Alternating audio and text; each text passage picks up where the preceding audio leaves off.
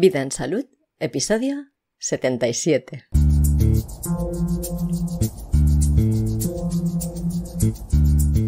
¿Qué es la salud?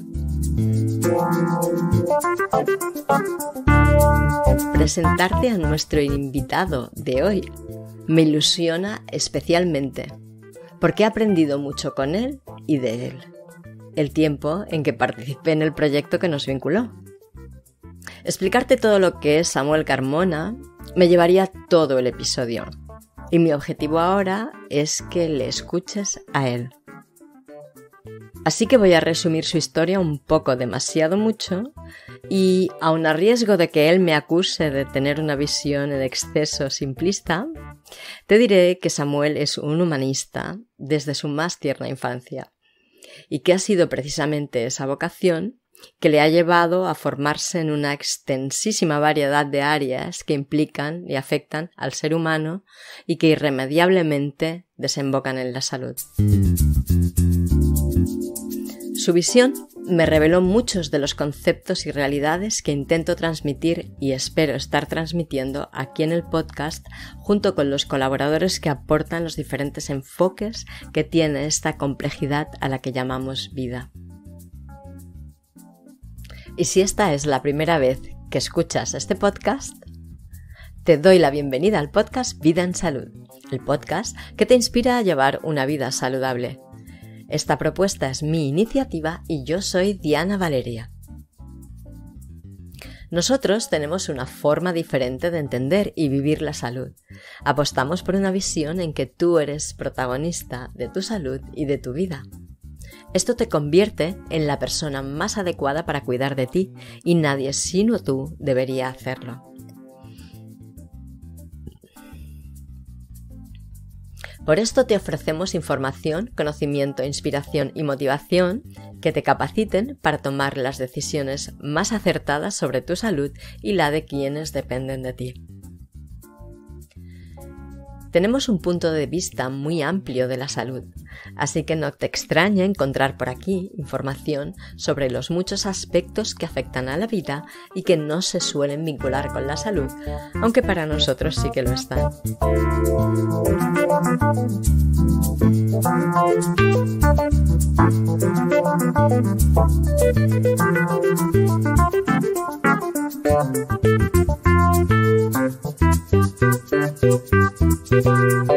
Y le pregunté a Samuel, ¿cómo quieres que te presente?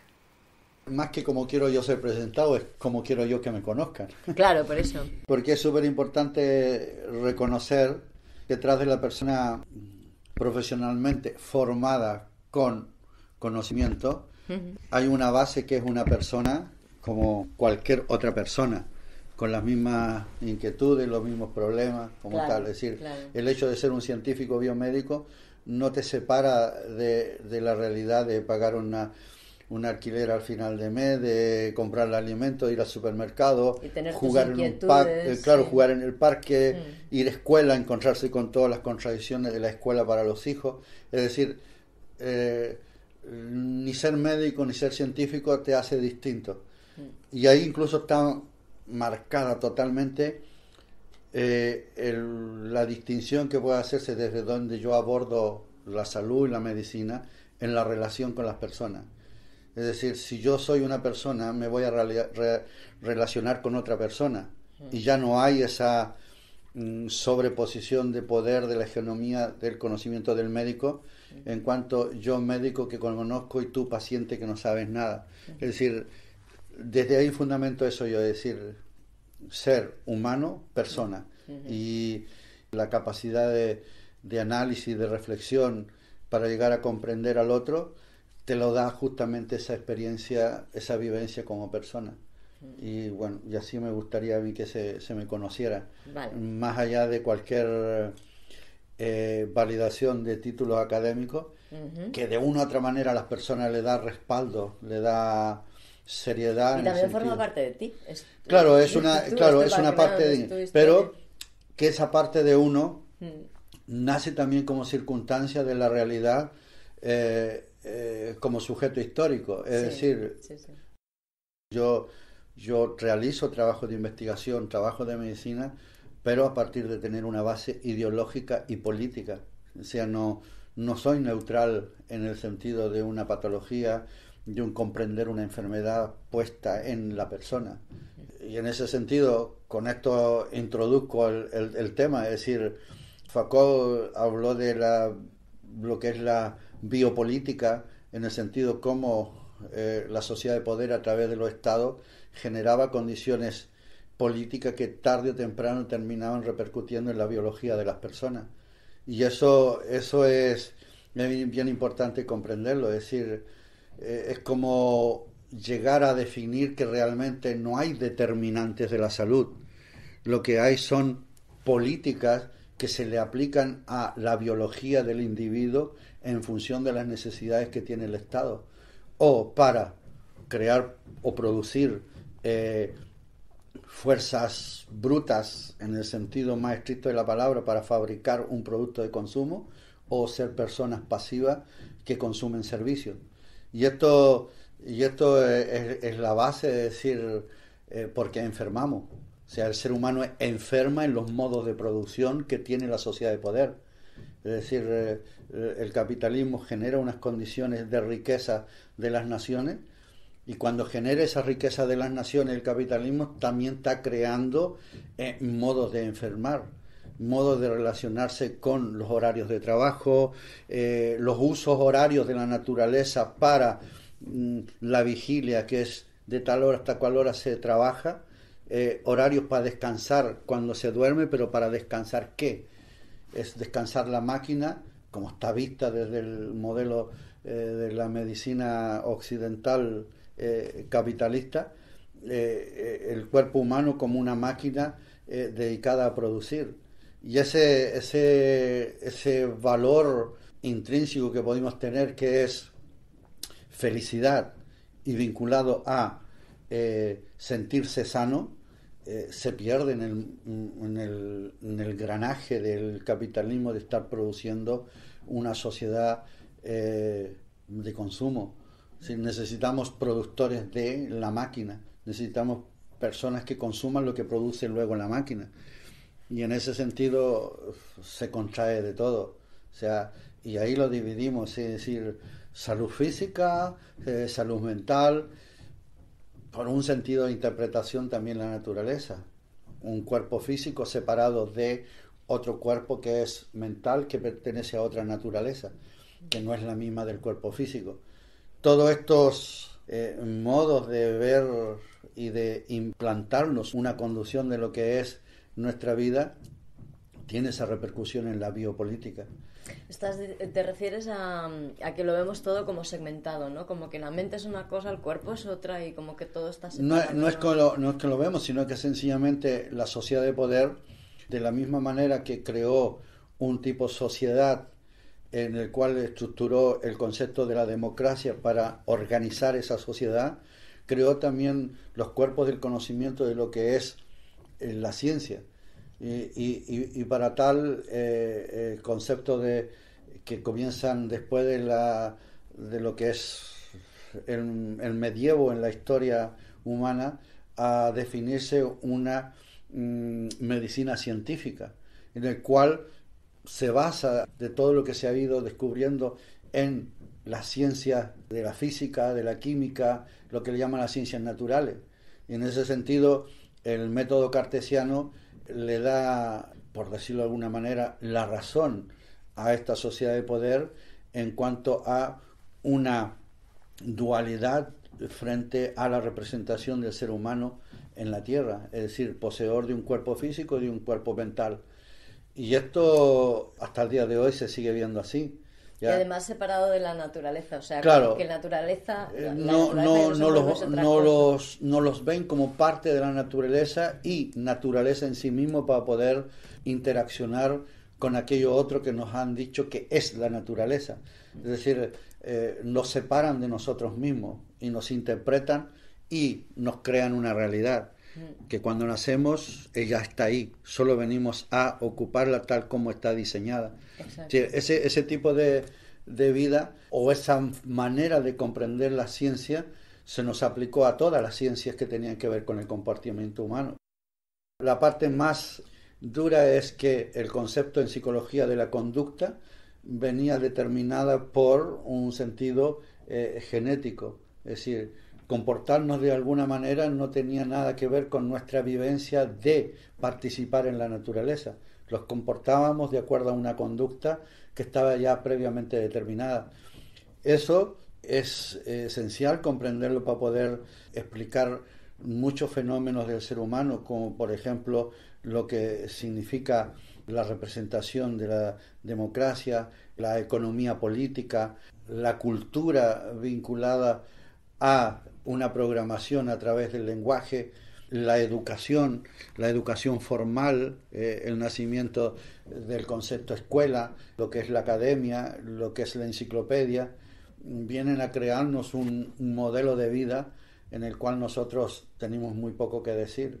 Y en ese sentido, eh, todo lo que se refiere a generar biopolíticas en cuanto a mm, ser usados por el sistema, tiene que ver con la escolarización, la separación de las crías, el hijo de la familia a los seis meses, a los tres años institucionalizarlo para llenarlos de unos contenidos que le van a servir a la sociedad de poder. Por lo tanto, en esas escuelas no va a haber una formación de habilidades para la vida, sino que va a haber una eh, formalidad de llenar con contenidos que le sirven para formar a un profesional. Importa nada o, muy poquito si este profesional es feliz o no lo es. Y ahí aparecen las enfermedades. Es decir, la enfermedad no es un asunto, yo discrepo con las personas que hablan de que eh, tanto la salud o la enfermedad son responsabilidad del individuo.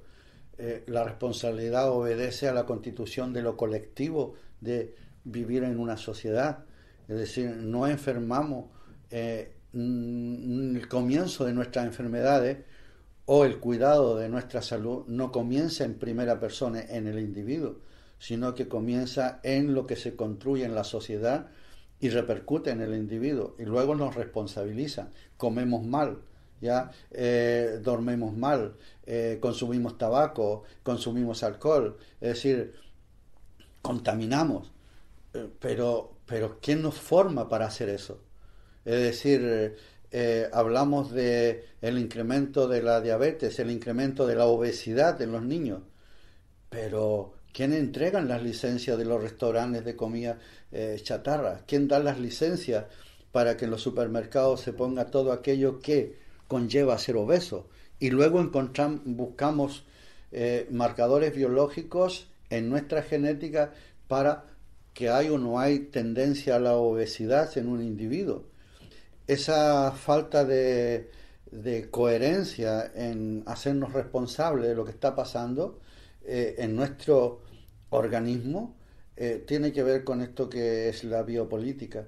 Es decir, necesitamos personas enfermas necesitamos personas obesas, porque si no las necesitáramos en una sociedad de poder, de consumo, ya sencillamente crearíamos políticas eh, de abastecimiento de nutrición, es decir, crearíamos educación nutricional a muy temprana edad, es decir, eh, no achacaríamos una manera de comer a la cultura, eh, a las tradiciones, es decir, es como comer mucha grasa es culturalmente ibérico, que si culturalmente somos ibéricos para comer todo lo que significa la alimentación con altos contenidos de grasa, va a repercutir luego en obesidad a los 75, a los 80 años, eh, enfermedades vinculadas a eh, colesterol alto, es decir, eh, no hay, hay consecuencias que tienen que ver con la manera de organizarse una sociedad en cuanto a cómo enfermamos. Y eso tiene que ver con la economía, en el sentido de, que la sociedad de poder le interesa regularizar eh, los modelos económicos. Es decir, lo que se llama capitalismo mm, tiene una finalidad que es generar riqueza. Y generar riqueza para la nación no tiene nada que ver con el ser humano que vive en un país o en un territorio determinado. Simplemente pasamos a ser productores de modos de construir otra sociedad con mucho más poder y, no garantiza ni calidad de vida ni buena salud. Somos producto consumidores de la sociedad.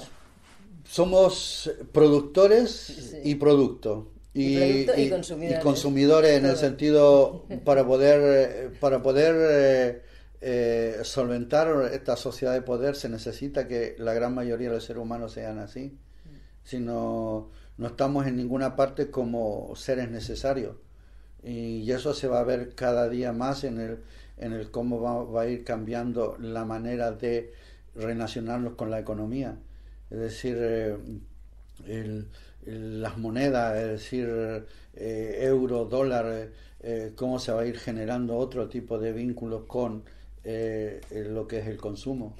Es decir, un consumo de, mm, si eres sano, vaya a tener puntos y vaya a poder cambiar tus puntos por un producto bonito, agradable, que te va a generar felicidad, entre comillas. Es decir, esto está cambiando muy rápido, muy rápido. Y vamos a enfermar de otra manera. Hoy en día las enfermedades biológicas las vamos a ir controlando. Cronificar es una modalidad de ganar tiempo para ofrecer posiblemente una solución más adelante de algo que hoy día no tenemos solución. Pero la cronificación por parte de la industria farmacéutica ha pasado a ser un negocio redondo. Una estrategia de negocio. Claro, siendo que eh, es un término que los podía dar mucho que decir en el sentido, si hoy día no podemos curar la gran mayoría de los cánceres, eh, al menos eh, ganemos tiempo, mantengamos, retengamos que no avance un cáncer hasta que tengamos un desarrollo científico más avanzado donde podamos dar respuesta. La medicina ha trabajado así siempre el problema es de que hacer medicina con ese criterio va en pugna con el modelo de la fabricación de lo que es el medicamento. Y avance ha habido, ha habido mucho avance. Decía ya, la gente no se muere de muchas cosas que se morían. El problema es de que se van a comenzar a morir y ya están muriendo de otra manera. y, y, esas otras cosas sencillamente tienen mucho que ver con eh, que el modelo de producción cambió si, antes hablábamos de, un campesino, de un proletariado, eh, hablábamos de un trabajador asalariado, hoy día todo eso tiene otro sentido. Mm. La información, los medios de comunicación, eh, todo lo que tiene que ver con la aparición de la Internet modificó la sociedad y modificó a los individuos dentro de esa sociedad y lo está adaptando para el nuevo modelo eh, de capital vigente. Es decir, el ser humano va a tender a trabajar, a desarrollar vías de no eh, someterse a ese, a ese dominio, pero lamentablemente va a transitar por mucho pesar, por mucho dolor. No va a ser un tránsito eh, amable, amable en el sentido de, de poder cambiar todo lo que está sucediendo en la sociedad, pero va a suceder, porque el ser humano también ha aportado desde su contradicción con el modelo de, economía del capitalismo. Ha aportado. Ha participado en ello. Ha participado en ello, pero a veces ha ido creando nuevas formas.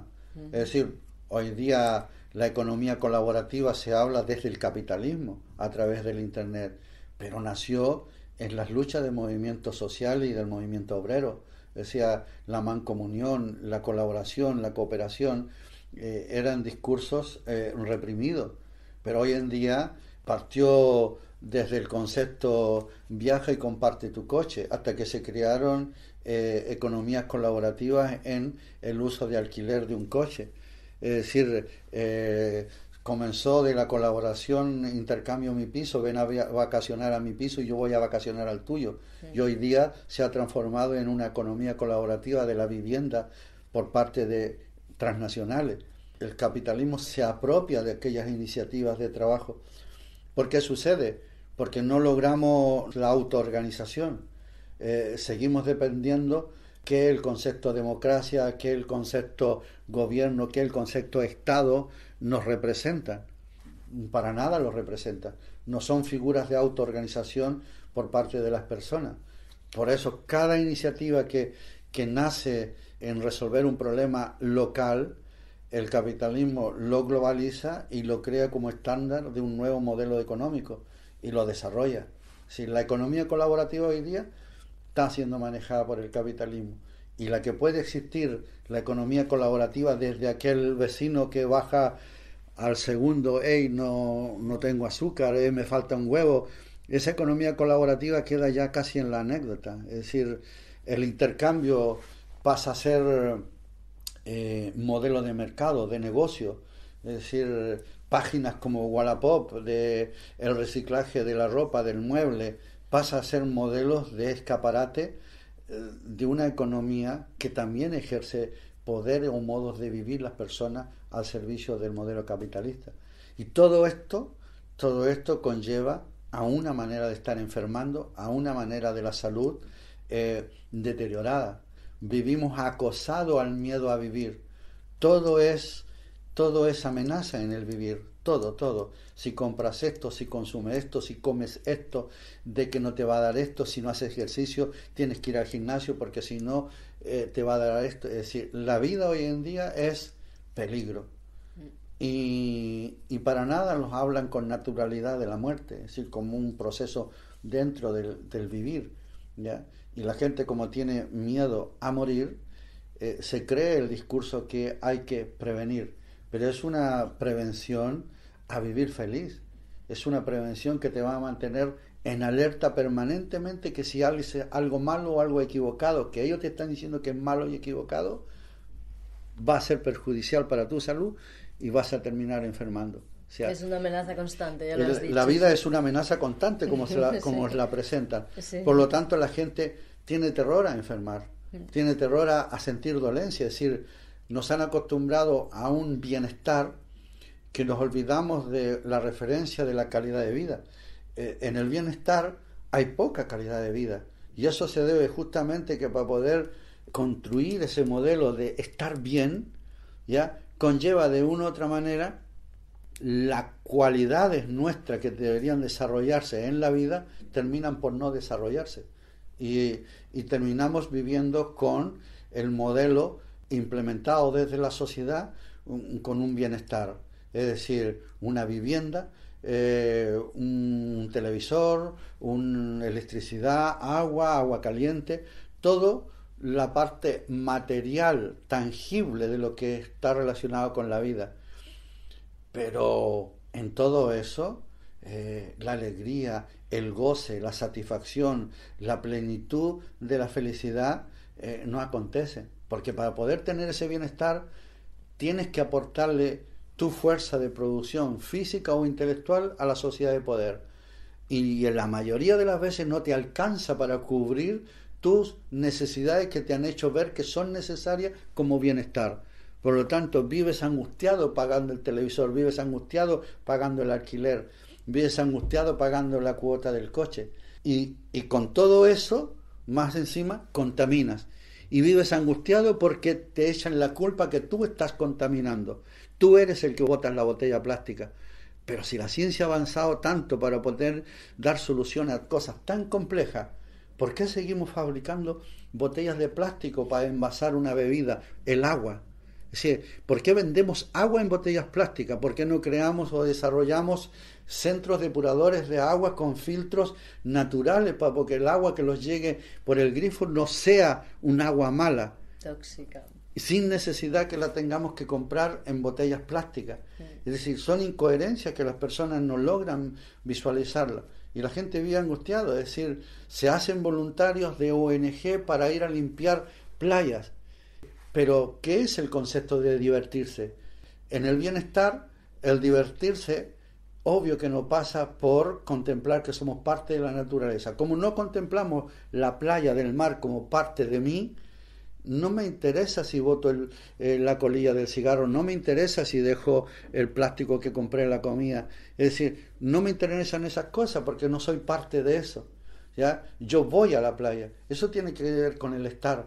Pero con el ser, el ser que es playa, el ser que soy agua, que soy mar, en ninguna parte te lo ponen como un criterio de definición de vida.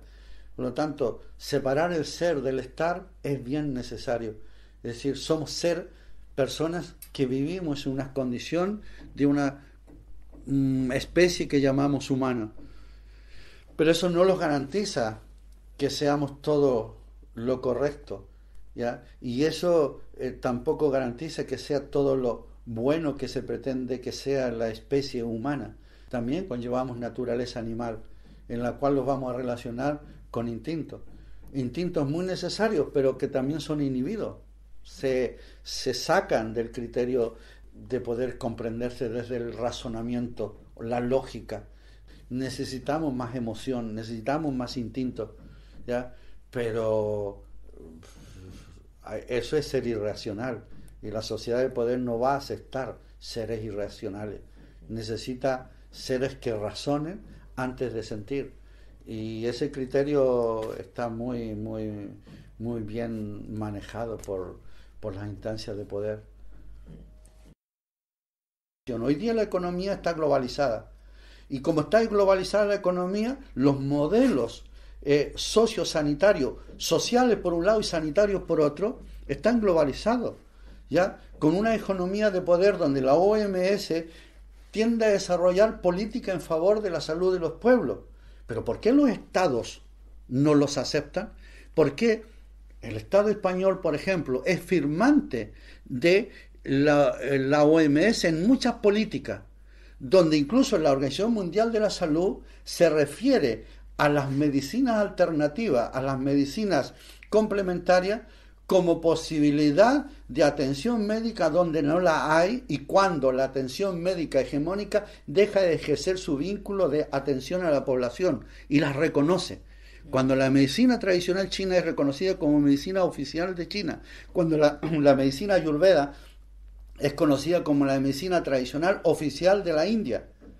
Y se nos viene a decir aquí, en España, un Estado firmante de los convenios de la Organización Mundial de la Salud, que eso es pseudociencia?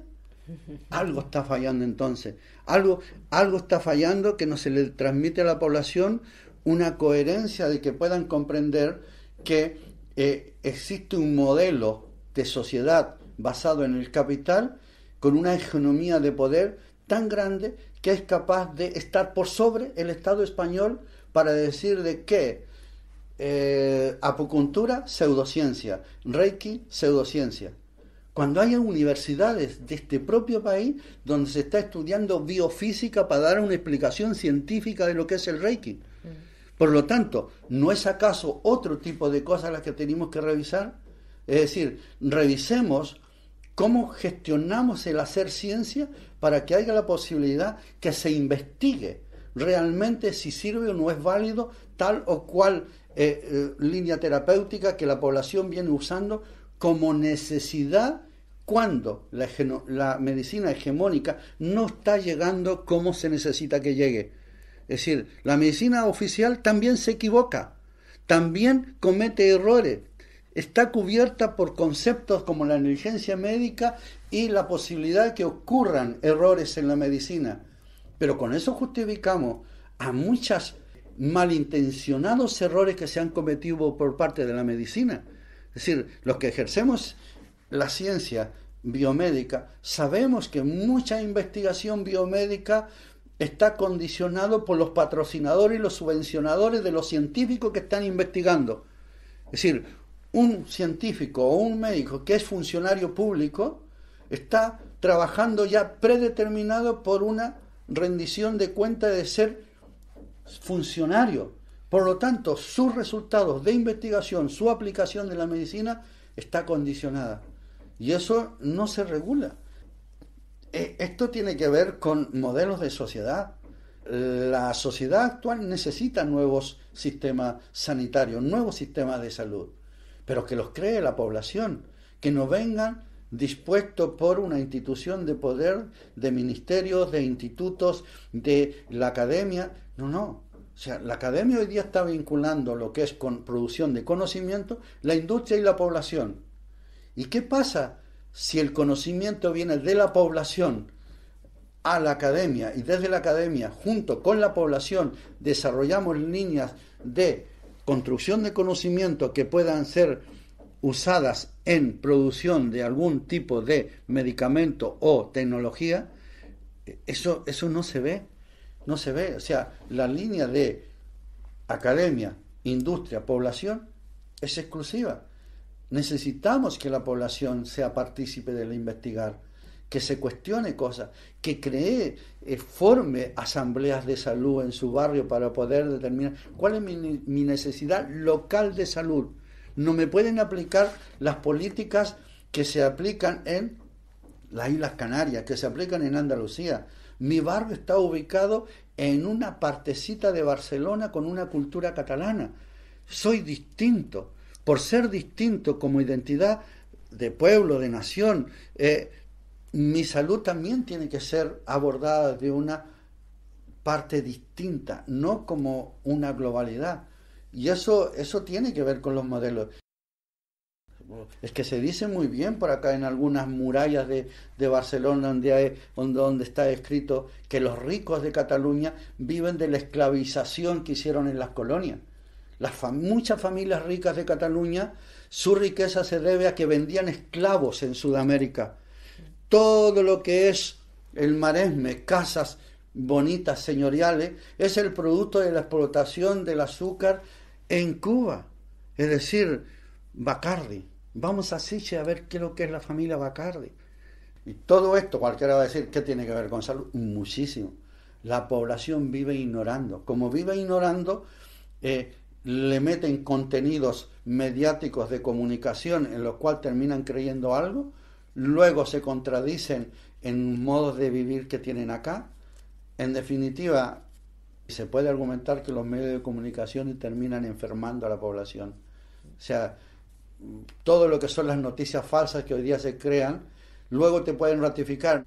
No era falso lo que se transmitió de esto, pero es que la noticia ya fue puesta en la psique de un individuo.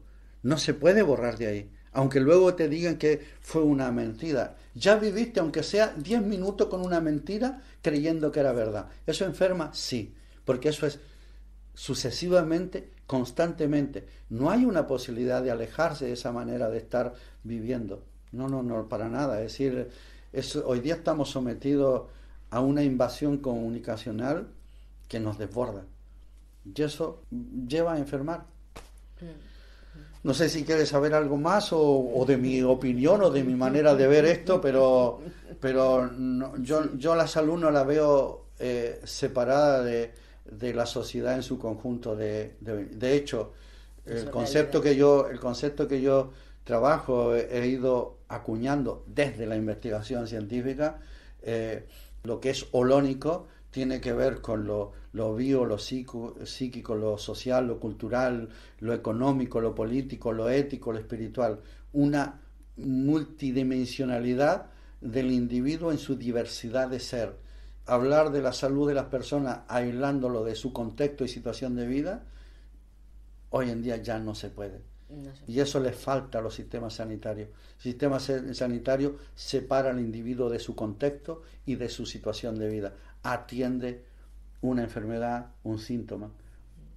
Trata como objeto a un sujeto. Y eso debe cambiar.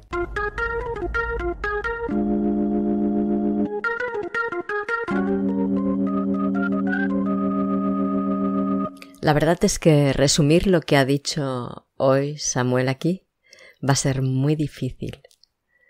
Así que voy a hacer un ejercicio de extrema simplicidad y voy a intentar resumirlo, dejando atrás un montón de ideas, conceptos, realidades y verdades que no voy a poder expresar en este resumen. La forma en que enfermamos es derivada de la forma en que vivimos, y la forma en que vivimos es consecuencia de la idea que tenemos formada de nosotros mismos y de lo que nos rodea. Las políticas de Estado deciden cómo ha de ser la realidad en que hemos de vivir, sin ninguna intervención por nuestra parte. No tenemos poder de decisión sobre lo que ha de ser nuestra vida y somos considerados como simples máquinas que producen para mantener esta realidad que nos contiene, pero de la que no somos parte, solo obra. Somos productores, productos y consumidores de esta realidad social. La medicina está intervenida por los intereses económicos y la forma de organización de los estados democráticos lo favorecen. Todo esto hace que vivamos de una manera, enfermemos de una manera y muramos de una manera. Si no estuviéramos así intervenidos, viviríamos de otra manera, trabajaríamos de otra manera, enfermaríamos de otra manera también y moriríamos de otra manera. ¿Te suena como algo cercano? Puedes conocer más sobre él y de su trabajo en la página web Unimed Consulting, proyecto que Samuel impulsó y está ubicado en el Parque Científico de la Universidad de Barcelona, y en clinicaerus.es, una clínica local que acompaña a las personas en sus procesos vitales para la preservación o recuperación de su salud.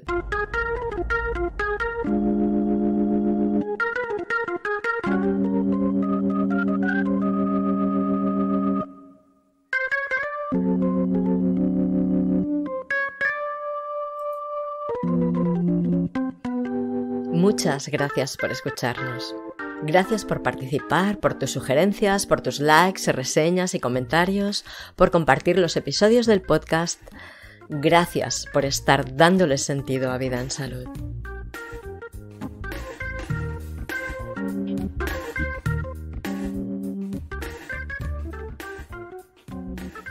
Muchas gracias a Samuel por ser quien es y por defender valiente e insistentemente sus seguridades sobre la vida y la salud. Y gracias también a Kidflux por la cesión de las melodías del programa.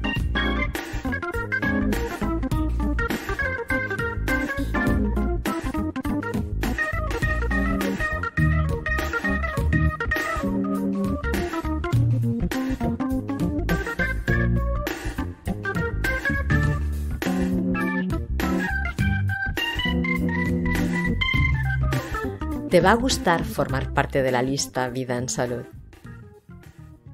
Esa lista de personas que reciben periódicamente mis emails y les explico historias que les inspiran a reflexionar sobre sí mismos, a comprender un poco más el entorno, a conocer más de nuestra naturaleza conjunta, a tomar decisiones.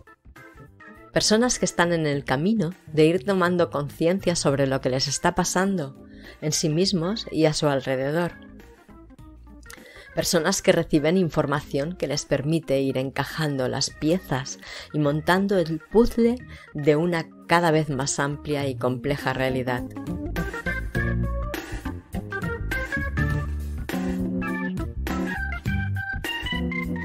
Y la próxima semana, Jordi Gutiérrez, que normalmente nos habla de cómo cuidarnos según la visión taoísta de la salud, nos hablará de lo que podemos esperar en el año que acabamos de comenzar, el año chino de la rata de agua. Y en cuanto a esto, quiero avanzarte que estamos preparando algo muy, muy chulo para compartir con vosotros y lo desvelaremos en el próximo episodio. Así que no te lo pierdas. Que pases muy buenos días y excelentes noches. Hasta la próxima.